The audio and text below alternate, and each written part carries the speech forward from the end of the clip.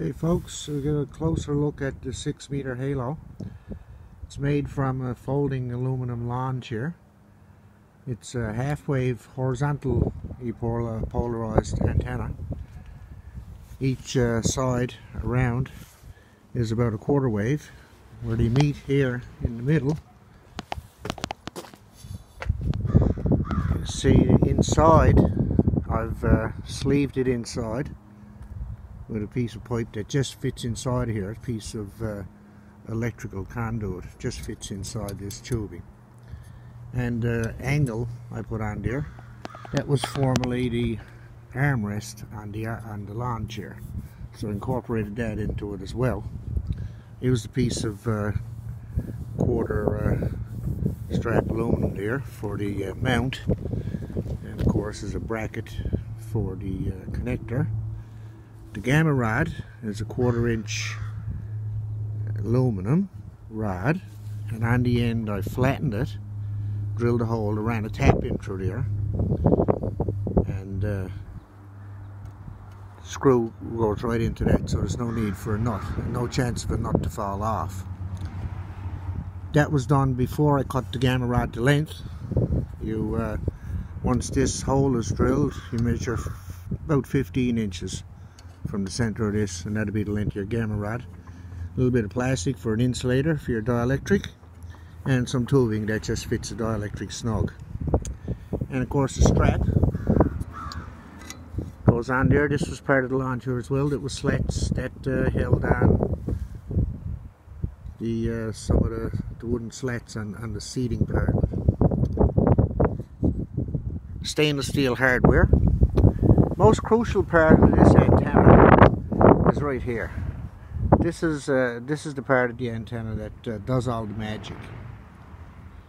I have plastic inserts in each end and what I've done I've threaded a piece of aluminum rod. To 7 16 diameter. These plastic inserts were actually belong to the plastic bolts.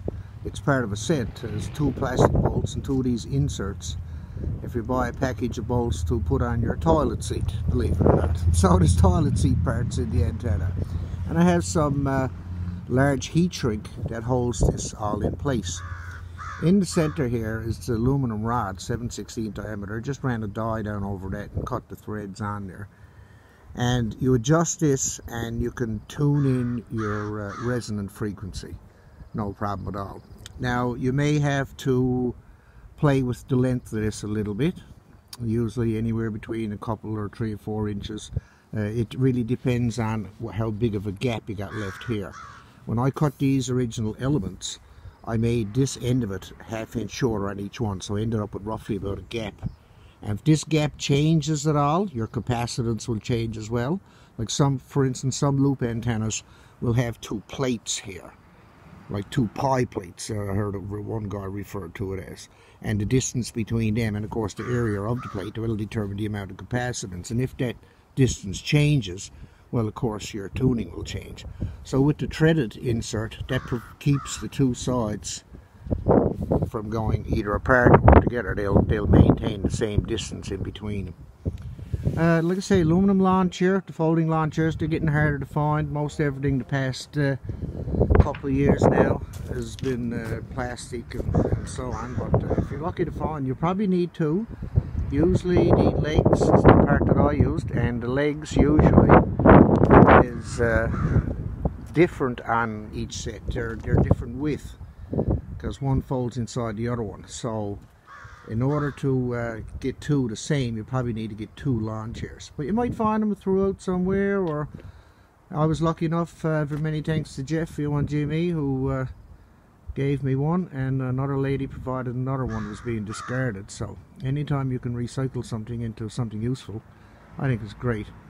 And many thanks too to uh, W3DHJ, a gentleman down the States. I've never spoke to him or, or uh, haven't met him, but uh, I did see his, uh, um, his design on the internet and that was the inspiration for me to try to build my own. Thanks for watching guys, it's another beautiful day in downtown Foxtrap.